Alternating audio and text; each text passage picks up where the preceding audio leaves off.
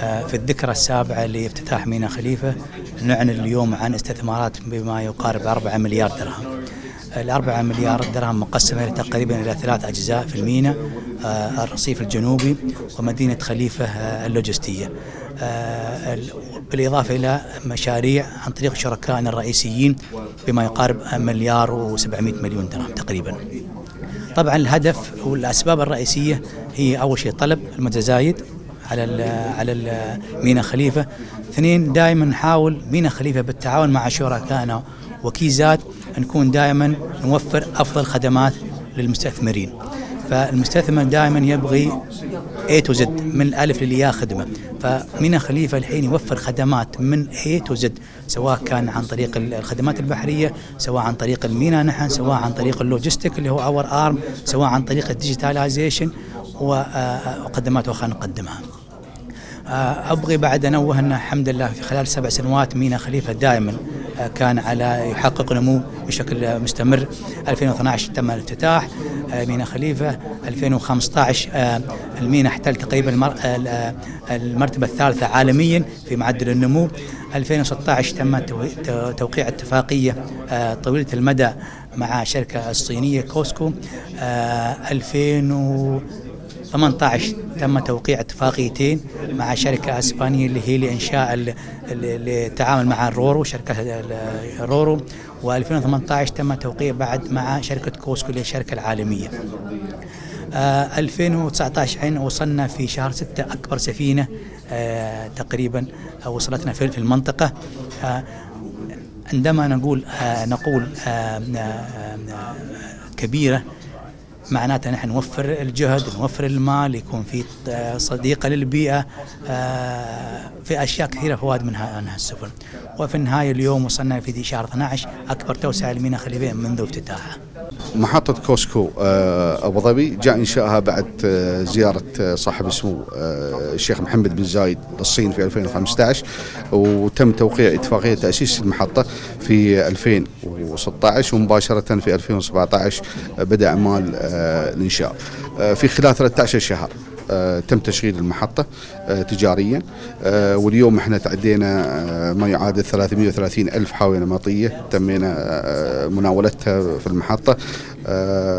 بجاهزية المحطة ب 11 crane رصيف و32 ARMG في المحطة في, في اليارد كذلك.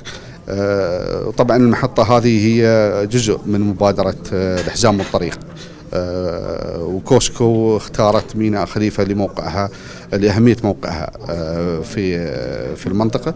وبتكون هي المحطة الرئيسية لها لمناولة جميع بضائعها عملية الشحن اليوم تقلصت. كانت الأول تأخذ بين 35 و 40 يوم نزلت لين 23 25 يوم من المصدر. وهذا بسبب وجود بواخر أم اللي هي إحنا نسميها ماذر فيسل اللي هي تيجي مباشرة من بلد المنشأ. آه هذا عكس ايجابيا على السوق المحلي بحيث أن التاجر آه يوصل بضاعته في فترة وجيزة جدا آه بالإضافة إلى عدد الفيدرز اللي هي زادت بشكل إيجابي كذلك ميناء خليفة. كلف تقريبا الاستثمار الإجمالي للمحطة هذه قارب حوالي مليار و100 مليون دولار. الاستثمار هذا مش بسيط. طبعا من باب الثقة وعارفين الصينيين بأن المكان هذا والدعم الحكومي اللي موجود حطوا الاستثمار اللي اليوم نشوفه شغال في ميناء خليفة. أهمية المشروع هذا مثل ما ذكرت في السابق أنه هو محطة رئيسية من مبادرة حزام الطريق اللي راح يربط بين الشرق والغرب بيضيف زيادة في حجم المناولة. بشكل عام لميناء خليفة وبشكل خاص عدد البواخر اللي بتينا بشكل مباشر من ال region من ال origin directly لخليفة. هذا بيقلص فترة الشحن اللي كانت الأول تأخذ بال 35 وال 40 يوم إلى 23 25 يوم. وهاي من فائدة الريسيفر اللي هو ال importer بالإضافة إلى حجم شركة كوسكو عالميا اليوم تدير هي 48 محطة.